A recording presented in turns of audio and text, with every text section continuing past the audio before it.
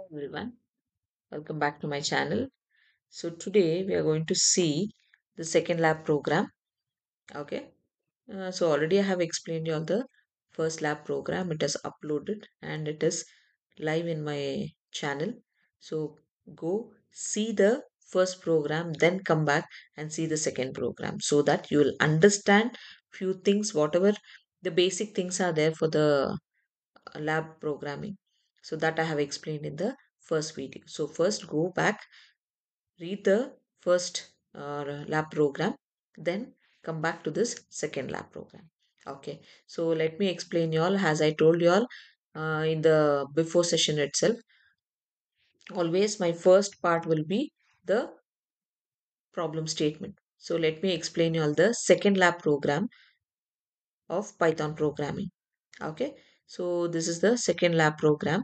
So write a Python program. Firstly, I'll explain you all. So let me make it a bit smaller in size so that the complete question will be available for you all. So here on the screen you can see write a menu drive program in a Python to find the factorial and sum of natural numbers using uh, using functions. So here you need to remember four different things. Four different things. What are those four uh, different things here is? So the first thing is what is menu driven? Next is what is factorial? Next is what is sum of natural numbers? Okay. So next is about the function. Okay. So four different things. So this the menu part will come at the last okay firstly we are going to see what is functions sorry what is functions so what is function is you're going to write a set of lines of code where it is doing some particular task so you're going to write a function for factorial you're going to write a function for finding the sum of natural numbers. So that is the first point you need to remember. Okay. Next point is what's factorial? So what is factorial? You need to know. Already you know it in the maths. The basic thing 5 factorial. Any factorial uh, like maths problem you take, the first word they take is 5 everyone's favorite digit is 5 5 factorial. So what is 5 factorial? You need to tell me now. So what is 5 factorial? It is 5 into 4 into 3 into 2 into 1 so this is what 5 factorial is so 1 2s are 2 2 3s are 6 6 4s are 24 24 5s are it is 120 so what is 5 factorial? It is 120. So this is the second part of your question. So that is finding the finding the factorial. This one finding the factorial. Next one is sum of natural numbers. So what is sum of natural numbers? So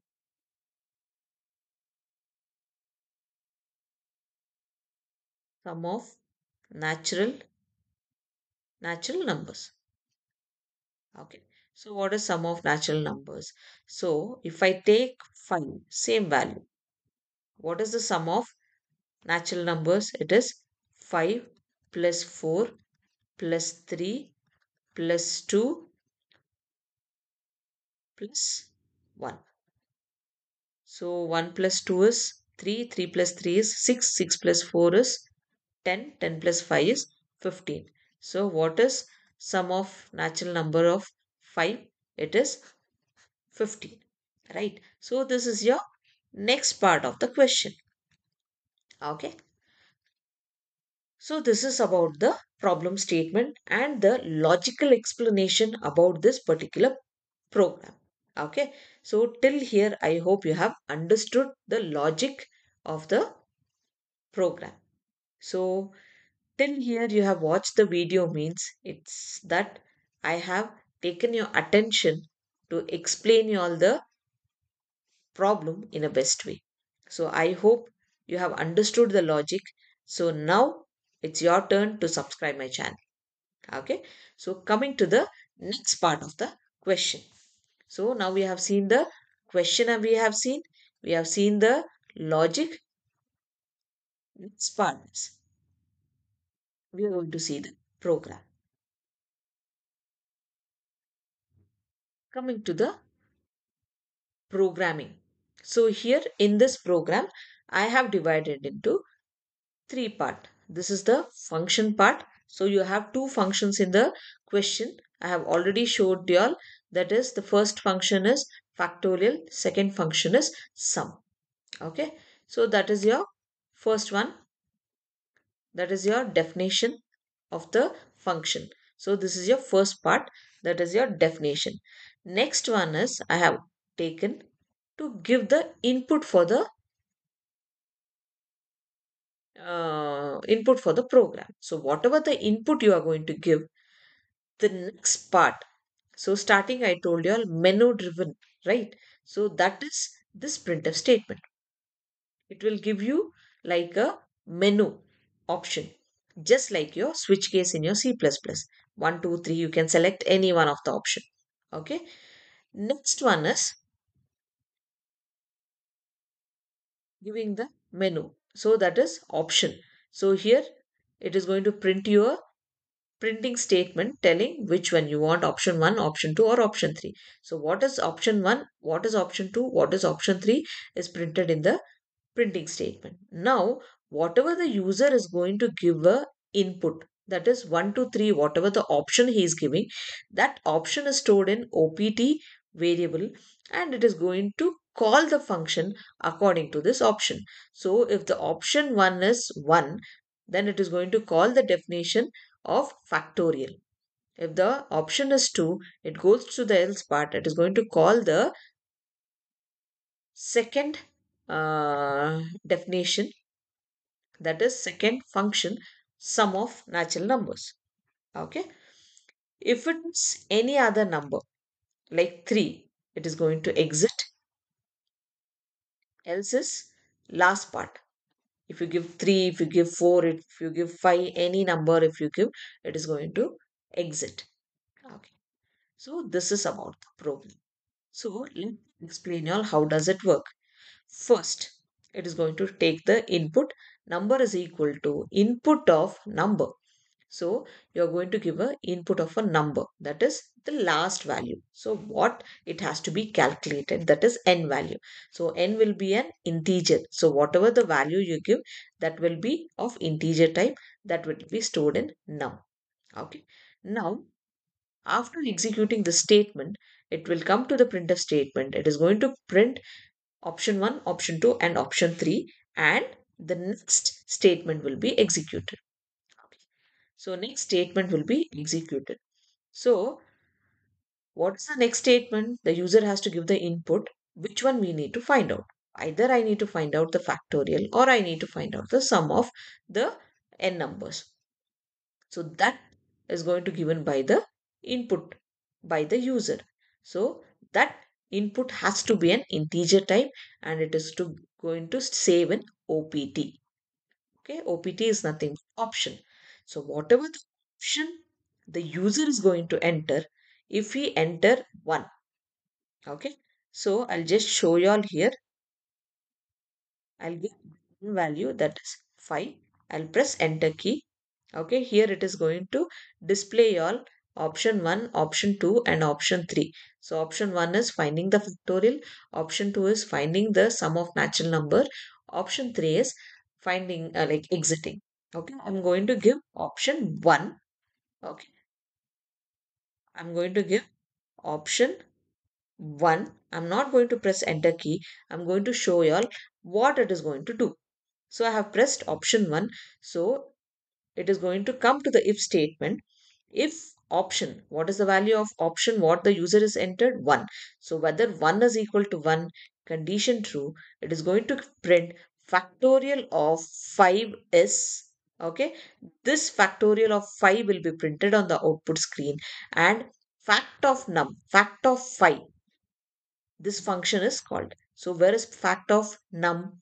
Here is my fact of num. This what it is going to do? It is going to take fact of 5 return 1 so it is it is returning 1 because the value is there.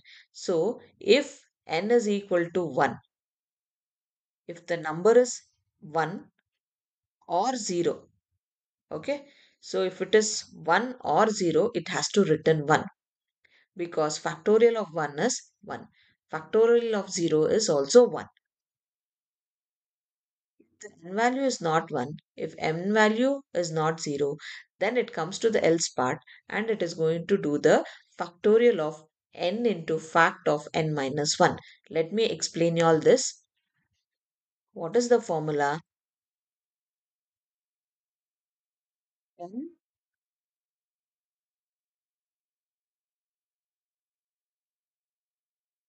n into fact of n minus 1 n into fact of n minus 1 so what is this? What is the value of n? N value is 5 right? What is fact of what is fact of n minus 1 fact of n value is 5 5 minus 1 is 4 fact of 4 right? So 5 into what is fact of 4 that is 4 itself. Then again it is going to perform fact of 4 minus 1 so what is 5 into 4 5 fours are 20 into fact of 4 minus 1 is 3 again it is going to perform 20 into what is factorial of 3 f of 3 that is 3 it is going to give. N minus 1 is fact of 2 minus 1 what is 20 into 3 60 right? 60 into fact of 2 minus 1 will be there so that is 60 into 2 into fact of 2 minus 1 is 1. 60 into 2 is 120 into fact of 1. What is fact of 1? Fact of 1 is 1 itself. So 1 minus 1 is 0. So 0 is also 1 itself. So 120 into 1 into 1 is 120. So this is how it is going to calculate the factorial. Okay. So now it is going to return the value of n into fact of n minus 1. Okay. So now it is going to print the value. Okay. So let me show you all the output of this. Okay. Me run it once. I'll give n value as 5. I'll give option 1. So factorial of 5 is 120. Now again let me run. Same way it is going to take the input for num. So I'll give 5. It will ask option 1, option 2, option 3. With the help of input statement, I'm going to give my input that is 2.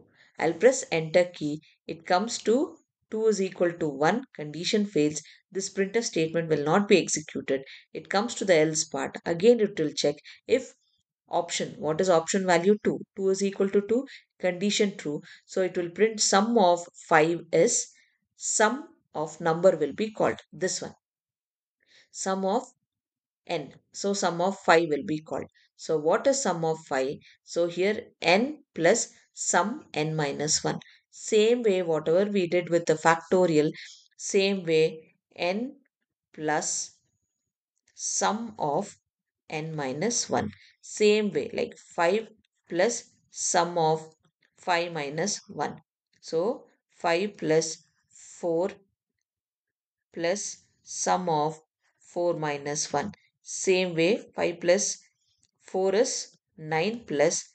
Again this will be calculated calculated then total sum value will be given. I'll press enter key.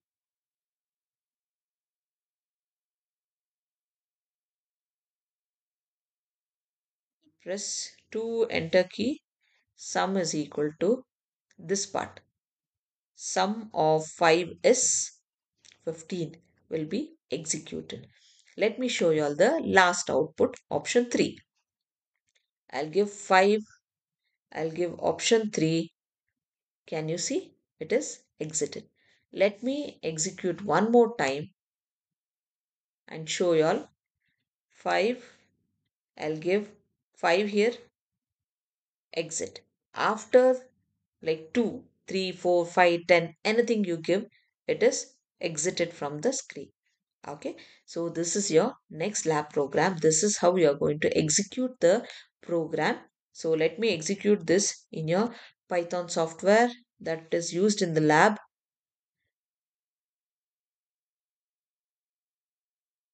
So this is the python software you are going to use it in the lab.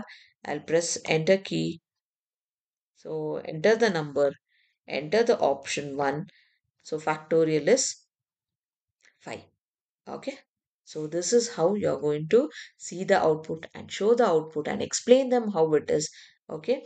Always remember whenever it is a lab program, lab exam, the first thing is read the problem statement. What is factorial? What is Fibonacci? What is sum? Okay.